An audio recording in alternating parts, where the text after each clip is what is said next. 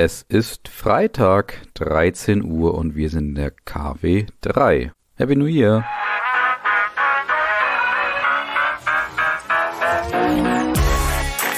Brand Trust Talks Weekly, der inspirierendste Wochenrückblick aus Markenperspektive. So, liebe Hörerinnen und Hörer, willkommen zurück zu Brand Trust Talks Weekly. Ihr seid zurück bei eurem Lieblingswochenrückblick aus Marketing und Markenperspektive im neuen Jahr 2024. Wir sind in der KW3 und es geht wieder rund mit dem Themen der Woche aus Marketing und Markenperspektive. Ich habe natürlich eine pickepacke volle Folge für euch dabei mit unterschiedlichsten Kategorien. Das heißt, ich habe mich ins Zeug gelegt, da mal ganz, ganz viel, ja, ich sag mal, Diversität von der anderen Seite sozusagen reinzubringen. Und ich würde sagen, wir starten durch. Also wie gesagt, alles Gute fürs neue Jahr und jetzt geht's los. Wir starten hiermit. Die Überraschung der Woche. Ja, und Netflix ist ja inzwischen durchaus immer mal für die ein oder andere Überraschung gut. Das waren sie im letzten Jahr ja schon auch, weil sie ja geplant haben, glaube ich, ein Restaurant bzw. ein Café auch zu öffnen. Und es geht weiter auch dort mit der Diversifikationsstrategie bei Netflix aus gutem Grund, wie ich gleich auch erklären werde. Und deswegen werden sie wahrscheinlich auch, das ist meine Prophezeiung schon mal für dieses Jahr, sozusagen eine Prognose, dass ja, ich würde sagen, Netflix öfter mal hier unter den Überraschungen der Woche auch liegen wird. Und warum sind sie diese Woche in der Überraschungskategorie dabei? Das liegt daran, dass sie eine spannende Kooperation gestartet haben, und zwar mit Carrefour, dem sehr bekannten Händler oder ich glaube größten Händler auch in Frankreich. Und zwar ist es so, dass Carrefour in Bordeaux und Rouen gerade ein Lebensmittel-Abo testet, und das heißt Carrefour Plus, wo man für 5,99 Euro eben ja Mitglied werden kann. Und dann hat man einfach ja erstens einen Sofortrabatt auf circa 7000 Produkte zur Verfügung. Und zweitens kann man ab 60 Euro Warenwert dann auch bestellte Lebensmittel kostenfrei nach Hause geliefert bekommen. Und was hat Netflix damit zu tun? Naja, wenn du 5,99 Euro für dieses Carrefour Plus Abo ausgibst, kriegst du ein Netflix Basic-Angebot oder Abo dazu. Das heißt, das, wo Werbung erstmal drin ist. Und das heißt, theoretisch, weil du ja 5,99 Euro für das Abo bei Carrefour schon bezahlst, kriegst du Netflix sozusagen umsonst dazu. Und natürlich kannst du auch die Werbung noch wegbezahlen, sozusagen, indem du dann nochmal weitere 5,99 Euro in Frankreich dann dazu zahlst. Das heißt also, so gesehen hat man wieder das Basic-Abo bei Netflix umsonst dabei, wenn man bei Carrefour Plus das Abo abschließt. Ja, und was überlegt sich Netflix eigentlich daran? Also erstens, sie experimentieren ganz offensichtlich jetzt mit unterschiedlichsten Möglichkeiten und Netflix, ja, verspricht sich von dieser Kooperation mit Carrefour weiterhin, dass man in unterschiedlichste Milieus und ja, ich sag mal, unterschiedlichste Zielgruppen auch reinkommt, weil natürlich ist Netflix nach wie vor ein Digital-Abo und Netflix ist natürlich etwas, was wahrscheinlich dann trotzdem etwas milieuabhängig ist, das heißt auch bei bestimmten Generationen wahrscheinlich auch stärker verortet ist und ich glaube, durch diese weitere Verbreitung in unterschiedlichste Richtungen und auch in unterschiedlichste, naja, wie soll ich sagen, sagen, Segmente, ist, glaube ich, die Idee dahinter wirklich in alle Bereiche des Lebens und alle Bereiche der Zielgruppe, der Segmente, der Generation, wie auch immer ihr ja letztendlich am Ende segmentiert, dass sie dort auch wirklich reinkommen. Das finde ich einen sehr, sehr spannenden Ansatz und auch sehr nachvollziehbar. Das heißt also, Netflix versucht hier wirklich zu so einem Lebensbegleiter und zu so einem normalen Thema, wie eigentlich Fernsehen ja bei uns eigentlich auch ist, dann auch zu werden. Das heißt also wirklich jeden hier zu erreichen. Und das kann ich sehr gut nachvollziehen. Netflix da aus meiner Sicht irgendwo auf dem richtigen Weg, ja wirklich so zu so einem Allgemeingut in der Gesellschaft zu werden. Und weiter geht's mit der Kategorie. Wer Visionen hat, sollte zum Arzt gehen. Und das ist nicht ganz ernst gemeint. Also Google hat hier nicht unnötige Visionen sozusagen, wie es ja damals auch gemeint war bei dieser Kategorie, sondern sie haben eigentlich ganz nachvollziehbare Visionen, würde ich sagen. Und zwar geht es darum natürlich, dass das Thema generative KI wahrscheinlich auch dieses Jahr das große Thema in allen Bereichen, dass sie dort natürlich jetzt mit Microsoft mithalten wollen und genauso wie Microsoft und ganz, ganz viele andere Technologieanbieter ohne weiteres daran auch forschen. Und jetzt hat Google eine weitere Innovation vorgestellt und zwar werden die vor allen Dingen gerade unter Android zur Verfügung stehen, sowohl bei Google Lens als auch auf den unterschiedlichen Android-Systemen, auf unterschiedlichen, ja ich sag mal neuwertigen oder gerade innovativen ganz vorne dran Handys. Und zwar gibt es dort jetzt eine neue Funktion und die nennt sich Circle to Search. Und das ist eigentlich eine ganz spannende Innovation, wie ich finde, wo ja durchaus, ich würde sagen, Google erstens es schafft, einen kleinen Abdruck mal wieder zu hinterlassen zum Thema generative KI, aber auch das sehr gut mit ihrem Thema, nämlich dem Suchen, auch zu verbinden. Und zwar kann man sich das Search so vorstellen, ihr macht mit eurem Handy, also im Android-basierten neuwertigen Handy, macht ihr einfach ein Foto von irgendwas und dann gibt's diese recht bekannte, sag ich mal, Reverse Kurzsuche, die man ja auch einstellen kann. Aber das ist jetzt eben in dem Fall neu, dass man es wirklich einfach nur fotografieren muss und dann praktisch auf einem Foto einfach zum Beispiel die Schuhe markiert oder irgendwie ein Kleid markiert oder was ihr da gerade so als spannend empfindet, könnt ihr einfach einkreisen und dann sucht Google eben genau nach diesem Produkt oder nach dem, was dort eben gesehen wird. Und da unterstützt offensichtlich künstliche Intelligenz und bringt euch dann zu irgendwelchen Suchergebnissen, die mit diesem Thema zusammenhängen könnten. Also eine spannende Innovation, wo ich, wie ich ja eben schon gesagt habe, finde, dass Google ganz gut so ihren Ursprung zum Thema Suchen und das Thema KI sehr schön verbindet und dadurch ja eine kleine Duftmarke auf jeden Fall hinterlässt. Und es ist auch sehr schön, dass auch diese Kategorie direkt im neuen Jahr bei der ersten Folge dabei ist. Neues von Mediamarkt. Ja, weil auch Mediamarkt hält sich nicht zurück nach dem wahrscheinlich relativ ja in Ordnung verlaufenden Weihnachtsgeschäft, gehe ich mal aus. Natürlich, der Handel hat ja so ein bisschen geächtzt trotzdem und war ja so mit dem Black Friday zufrieden, aber mit dem Weihnachtsgeschäft nicht unbedingt. Weiß jetzt gar nicht genau, wie das beim Mediamarkt war, aber so oder so, Mediamarkt gibt auch im neuen Jahr Gas und lässt sich da nicht beirren. Und nachdem sie im letzten Jahr ja mit dem Thema Let's Go gestartet hatten, wo ja so das ganze Thema, dass man gesagt hat, komm, geht mal zum Mediamarkt, lass uns starten, wir sind da jetzt bereit, wir stellen uns da ein bisschen um und so weiter kommt jetzt der nächste Kampagnenclaim, ganz wichtig, der Kampagnenslogan sozusagen oder die Unterstreichung der Kampagne kann man auch sagen mit einem Satz und der ist erlebe, was geht. Und ich hatte zuerst schon so ein bisschen gedacht, um Gottes Willen, ist das jetzt wirklich der strategische Markenclaim für den Ausdruck der Positionierung bei Mediamarkt Saturn? Das ist er nämlich nicht. Das ist nämlich einfach, wie gesagt, ein kurzzeitiger Kampagnenclaim, der so ein bisschen wahrscheinlich wieder, ja, sagt, wo es denn kommunikativ in diesem Jahr dann auch hingehen wird bei Mediamarkt Saturn. Und das kann ich grundsätzlich erstmal gut nachvollziehen, dass man versucht, so in dem Jahr wieder eine Linie zu geben. Das war, wie gesagt, letztes Jahr und das Jahr davor, ja, ab Herbst 22, wie gesagt, das Thema Let's Go. Und jetzt geht's eben mit Erlebe, was geht, ins nächste Zeitalter. Die Strategie bei Mediamarkt Saturn bleibt aber weiterhin so, wie ich das hier die letzten Monate ja auch immer wieder regelmäßig beschrieben habe. Und zwar möchte man nach eigener Aussage der sogenannte Experience Champion sein. Das heißt, man möchte sich verorten und verankern bei den Menschen als derjenige, der wirklich im Bereich von Service alles von drum und dran von A bis Z sozusagen liefert. Sie nennen das eine Omni-Channel Service Plattform, wo du sowohl gute Beratung bekommst, natürlich auch gute Produkte bekommst, das Ganze recyceln kannst, reparieren kannst. Also egal, was ihr euch für Services vorstellen kann, mehr oder weniger, die wird es bei Mediamarkt eben dann auch zur Verfügung geben. Und die Idee dahinter ist natürlich, dass man glaubt in dieser Größe und vor allen Dingen, wenn man dann diesen Service von A bis Z auch anbietet, dass man dann auch gerade es schafft, dann sich bei den Menschen auch so zu verankern, dass man vielleicht relevanter ist als Amazon. Was ganz zentral bei diesem Thema Omnichannel ist es ja auch, dass man eben sagt, man hat natürlich den Vorteil zwischen Retail-Stationen, also wirklichen Händlerstationen oder Filialen eben, und natürlich dem Online-Angebot, was bei Mediamarkt Saturn inzwischen natürlich auch sehr groß ist. Und das ist eben der große Vorteil, wo sie glauben, wo man sich von Amazon auch unterscheiden kann. Absolut nachvollziehbar auf jeden Fall. Und dieses Erlebe, was geht, kann ich auch nachvollziehen. Wobei mich nach wie vor so ein bisschen stört, dass es immer so ein Aufruf ist, ja, komm mal zu uns, versuch's mal aus. Also ich verstehe das, man ist wahrscheinlich gerade so noch an der Stufe auch angekommen, dass man sich bei den Leuten ja nach wie vor noch so ein bisschen umparken muss. Es erinnert mich auch so ein bisschen an Umparken im Kopf in dem Zuge. Und es fehlt mir so ein bisschen der Ausdruck des Commitments oder dieser Positionierung mit dem Thema Experience Champion, weil aktuell ist es noch ein loses Versprechen, aber noch kein richtiges Commitment. Und das ist, glaube ich, auch die größte Herausforderung für Mediamarkt Saturn in diesem Jahr, dass man es schafft, diesem ja ersten Versprechen oder dieser Aussage der Experience Champion zu werden, dass man dem auch wirklich folgt und dass man das auch schafft in allen Filialen, an allen Point of Sales noch umzusetzen. Ich hatte euch, glaube ich, letztes Jahr von meinem Erlebnis aus dem Mediamarkt in Köln auch erzählt, wo nämlich das Thema Experience Champion auf jeden Fall überhaupt nicht zu sehen war, weil das war so eine richtig alte Stadt-Mediamarkt-Filiale, wo man dann sagt, okay, da ist ganz, ganz viel, naja, ich würde sagen, schwierige Experience und ganz wenig Champion dabei. Und dementsprechend, ja, ich glaube, das wird so die Herausforderung für Mediamarkt sein, auch diese Balance hinzukriegen zwischen, wir schaffen es wirklich ein paar Flagship-Filialen hinzubekommen und auf der anderen Seite vielleicht auch genau die, die so ein bisschen schwierig sind, dass man die trotzdem auch schafft, auf so einen Champion-Niveau aufzubringen. Also ich glaube, es wird nicht langweilig beim Mediamarkt. Schaut mal, was dort so geht. Also erlebt vielleicht mal, was geht beim Mediamarkt.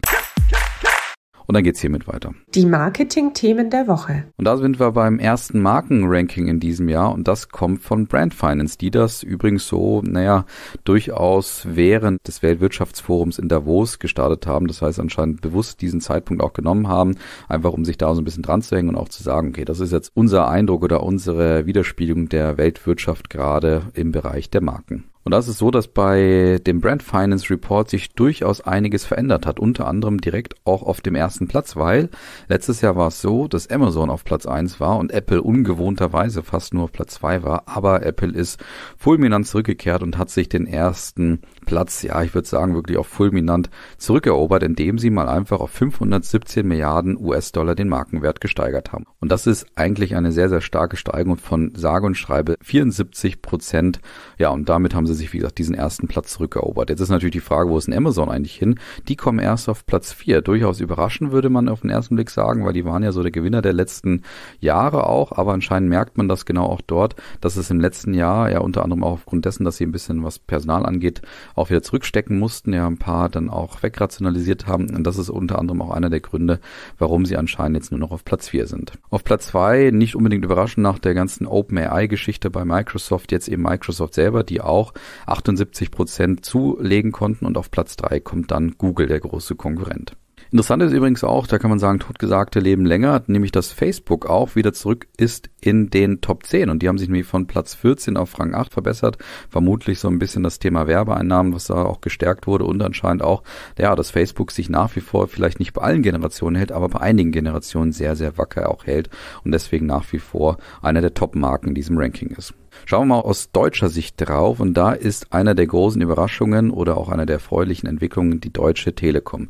Da habe ich ja letztes Jahr auch sehr viel mal darüber berichtet, wie die sich so positionieren. Die investieren unheimlich viel in das Thema internationale und globale Markenführung und das zeigt sich auch in den USA, wo sie inzwischen ja wirklich ein veritabler Player sind und unter anderem jetzt auch das in diesem Ranking wieder spiegeln können, indem sie nämlich Verizon, die große US-Marke und den großen Konkurrenten dort auch überholt haben und jetzt einfach um 17 Prozent zugelegt haben und es jetzt geschafft haben, in die Top 10 einzuziehen. Jetzt fragt man sich vielleicht, ja, was ist denn mit unserer guten Automobilindustrie? Auch die ist stark vertreten, allerdings nicht unter den Top 10. Da kommt nämlich erst Mercedes-Benz auf Platz 17 und dann kommt Porsche auf Rang 33, BMW auf Rang 37 und Volkswagen erst auf Platz 47. Ein Absturz gab es auch bei Tesla, war auch ein bisschen überraschend vielleicht, obwohl es denen ja auch gerade ganz gut geht. Aber das liegt unter anderem wahrscheinlich daran, dass man auch mit Elon Musk natürlich stark verbunden ist und anscheinend natürlich auch der große Hersteller aus China, nämlich BYD, erstens es auch in dieses Ranking geschafft hat, den Markenwert auch nochmal gesteigert hat auf knapp 12 Milliarden US-Dollar und zweitens ja inzwischen ja auch der weltweit größte Hersteller von Elektrofahrzeugen ist. Das heißt also Tesla dort auch überholen konnte. Also schon spannende Bewegungen auf jeden Fall, alle irgendwie auch nachvollziehbar in diesem Brand Finance Ranking. Mal gucken, was so dieses Jahr noch dazu kommt. Und dann kommen wir zum Thema Greenwashing, weil da gab es nämlich jetzt einen EU-Parlamentsbescheid und eine Entscheidung, die jetzt vorangetrieben wird. Und zwar wird es jetzt relativ eng für einige Marken, die einfach mal schnell mal sagen, auch wir sind umweltfreundlich oder nachhaltig oder klimaneutral, weil jetzt werden Beweise notwendig, ob du denn dieses Thema auch wirklich halten kannst oder auch vor allen Dingen auch versprechen kannst, guten Gewissens, weil du musst es jetzt eben stärker nach EU-Parlamentswillen nachweisen, mit der Idee natürlich dann auch Verbraucherinnen und Verbraucher nicht mehr so in die Irre zu führen. Und das passt passt auch sehr gut zu dem, was ich die letzten Monate auch hier immer wieder erzählt habe. Der Wind in diesem Bereich Nachhaltigkeit und der Kommunikation dreht sich ganz eindeutig. Die Luft wird dünner für, ja, ich sag mal, oberflächliche Kampagnen und für bloße Behauptungen. Und jetzt muss sehr, sehr viel auch nachgewiesen werden, ob das denn eigentlich der Fall ist, was man da so alles verspricht. Und da, wie gesagt, jetzt dieser erste EU-Parlamentsbescheid, der das Thema Greenwashing mal stärker nochmal eindämmen wird. Und dann gehen wir in die Kategorie rein. Was gerade auf TikTok abgeht. Ja, da haben wir auch einen Stammgast, wobei ich den, glaube ich, etwas länger nicht mehr dabei hatte, und zwar die BVG, die nämlich jetzt auch auf TikTok ist. Und jetzt könnte man auf den ersten Blick sagen, naja, BVG hätte ich doch irgendwie schon länger auf TikTok erwartet, weil die sind ja so im Bereich, sag ich mal, Social Media und digitaler Kommunikation und moderner Kommunikation immer sehr gut unterwegs gewesen, aber von TikTok hatten sie sich bis jetzt noch ferngehalten. Und jetzt warten sie mit einer durchaus ungewöhnlichen Kampagne auf. Und zwar kann man sagen, dass sie so eine Mischung zwischen Muppet Show und Sesamstraße gestartet haben, wo man nämlich ja fünf so Puppen, also wirklich so diese typischen Puppen, die ihr von der Sesamstraße bzw. von der Muppet Show eben kennt, dass man solche Puppen ähnliche Gestalten oder sind schon Puppen, aber dass man eben solche ähnliche Gestalten, wie man sie von diesen Marken eben kennt, dass die jetzt praktisch die BVG repräsentieren sollen und so ein bisschen natürlich auch das repräsentieren sollen, was in Berlin und was bei der BVG eben alles so passiert, dass das eben so ein bisschen dargestellt werden soll. Und dort geht es dann um Güni, den Busfahrer, Baba, der Maus aus dem Gleisbett, der Influencerin Vero, BVG Ultra, Frauke und der Grand Dame Henriette von Gleisnitz. Und diese fünf Puppen werden, wie gesagt, jetzt mal unterschiedlichste Geschichten aus Berlin und von der BVG anscheinend versuchen wiederzuspiegeln. Ich finde es einen grundsätzlich lustigen Ansatz, auch einen ungewöhnlichen Ansatz, muss ich sagen, für TikTok, weil das hätte ich eher auf YouTube erwartet, weil es ist ja schon fast wie ein bisschen wie so eine Art Serie und YouTube-Serien laufen ja normalerweise sehr gut, deswegen hätte ich eigentlich auf TikTok eher, ja, so das Typische auch erwartet, eher menschengetriebene, hätte ich mal gesagt, was man von TikTok auch kennt. Das heißt also irgendwie natürlich sehen oder mal hier ein Influencer oder vielleicht auch mal, ähm, ja, so ich sag mal, ein bisschen überzeichnete Momente ähm, aus dem BVG-Leben. Das hätte, glaube ich, auf TikTok auch alles gut funktioniert. Ich glaube, es gibt ein paar Gründe, warum die BVG auch in diese Richtung geht. Erstens wahrscheinlich, weil sie ein bisschen weniger Risiko haben, als wenn sie mit, mit Influencern auch zusammenarbeiten. Natürlich ist es vielleicht auch ein Tick kostengünstiger, wenn man natürlich da irgendwie nur eine Agentur damit beauftragt, diese Puppen ein bisschen spielen zu lassen in dem Sinne.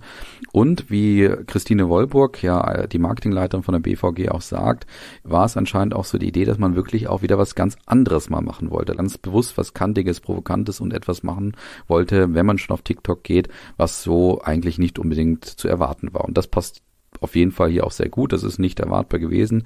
Für mich finde ich es auch ein bisschen neu. Aber ich bin sehr gespannt, ob dieser Ansatz wirklich nachhaltig sein wird, dass man sich diese Puppen wirklich nachhaltig und langfristig anschaut. Oder ob dann vielleicht so einen, ich sag mal, eher so ein Live-Content, der wirklich jeden Monat sich auch ganz, ganz stark verändern kann, weil er personengetrieben ist und auch von einzelnen Personen abhängig ist, dass der dann vielleicht ein bisschen länger und nachhaltiger dann auch so die Menschen bei der Stange hält. Deswegen bin ich da sehr gespannt, wie das funktionieren wird. Auf jeden Fall ist das Thema der Puppen schon sehr lustig, muss ich sagen sagen. Schaut's euch mal an. Und dann kommen wir zu einer neuen Kategorie, die ich jetzt hier mal selber einspreche. Der Aufreger der Woche. Und zwar wisst ihr natürlich, gerade ist ja Veganuary, das merkt man bei ganz, ganz vielen Restaurants und überhaupt wahrscheinlich bei ganz vielen Kampagnen und Aktionen gerade.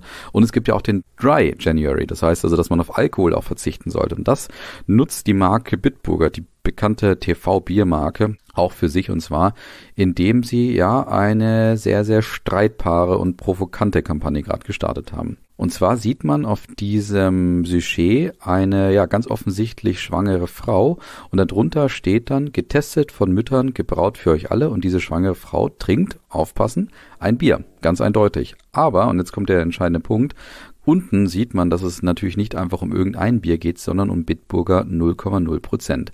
Und jetzt gab es schon ein kleines Shitstürmchen, würde ich sagen, für Bitburger, weil das natürlich so provokant war, dass einige auch echt irritiert waren, warum man da jetzt eine schwangere Frau sieht und man ja natürlich weiß, was auch Alkohol gerade während der Schwangerschaft auch anrichten kann. Und deswegen waren einige ganz, ganz irritiert darüber, dass man jetzt diese beiden Sachen, also eine offensichtliche Bierflasche und eine schwangere Frau zusammenbringt. Ja, ich bleibe auch dabei, es ist definitiv streitbar, wobei der Zweck vielleicht ein ganz, ganz klein bisschen die Mittel heiligt, weil sie haben nach einem Weg, nach einem aufmerksamkeitsstarken Weg gesucht, irgendwie zu vermitteln, naja, 0,0 äh, Prozent Bier, also ein alkoholfreies Bier, hat übrigens weniger Alkohol als Apfelsaft. Das ist nämlich die große Botschaft, die man damit unter anderem auch vermitteln möchte. Und da muss es vielleicht auch mal ganz provokant sein. Ich persönlich bin aber nach wie vor kein großer Fan von unnötiger Provokation und unnötiger Aufmerksamkeitshascherei. Deswegen war ich auch erstmal ein bisschen irritiert, aber habe dann so im zweiten Blick gedacht, naja, wie gesagt, manchmal, wenn man eine Botschaft setzen möchte und einen Vorurteil abbauen möchte, dann muss man manchmal unterschiedliche Wege gehen. Deswegen kann ich es auch nachvollziehen. Und der Marketingleiter von Bitburger hat übrigens auch gesagt, wenn es hierbei zu Missverständnissen gekommen ist, entschuldigen wir uns dafür. Das war nicht die Idee dahinter und er hat auch nochmal dargestellt, es gab neben dem Shitstürmchen auch durchaus positive Resonanzen und auch Zustimmung. Ja, und dann kommen wir noch hierzu. Das Fundstück der Woche. Und das war schon irgendwie ein sehr cooles Fundstück, muss ich sagen, weil der Gründer von Coro, also Coro ist 2014 gegründet und ist inzwischen ja eine Marke, die ganz unterschiedlichste Produkte über online eben auch verkauft, vor allen Dingen natürlich nachhaltige Produkte. Und der Coro CEO Piran Aski, der war bei dem Erfolgsformat von Vox und zwar dem perfekten Dinner, das sicherlich einige von euch auch kennen und war da einfach ganz normal als Teilnehmer. Das heißt, er kocht offensichtlich gern und hat sich dann als ähm, ja ganz normaler Mensch sozusagen dort beworben und wollte einfach mal mitkochen. Hat er auch gemacht. Also es war klar, dass irgendwann die diese Woche eher dann auch ausgestrahlt wird. Und dann hat sich Coro überlegt, naja, wenn unser CEO dort einen Auftritt hat, dann lasst uns doch Werbung, also ganz normale Werbung in dem Werbeslots während Vox dem perfekten Dinner eben buchen. Da haben sie fünf Slots aufgenommen, beziehungsweise fünf Werbespots aufgenommen, wo er dann Produkte von Coro vorgestellt hat und zwar genau in dem Outfit, das er auch jeweils in den fünf Folgen anhatte. Das heißt, es ist wahrscheinlich bei vielen Leuten genau das Gefühl entstanden, dass natürlich der Bezug zwischen dem, der da gerade aufgetreten ist in dem Format und dem, der da gerade Werbung macht für eine Marke, die er offensichtlich vertritt, dass da sicherlich die einen oder anderen, die da hingeguckt haben, dann auch erkannt haben, ah, der macht da offensichtlich Werbung für eine Marke. Das heißt, schon ein kleiner Guerilla-Marketing-Ansatz und eine ganz, ganz spannende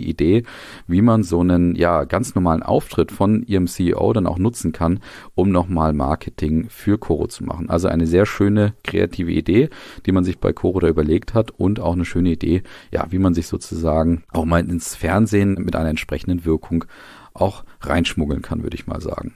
Ja, und mit diesem schönen Fünfstück entlasse ich euch dann ins Wochenende und natürlich auch in die nächste Woche. Ich wünsche euch ein wunderbares Wochenende und einen guten Start in die nächste Woche. Danke fürs Zuhören, macht's gut, bis dann, ciao.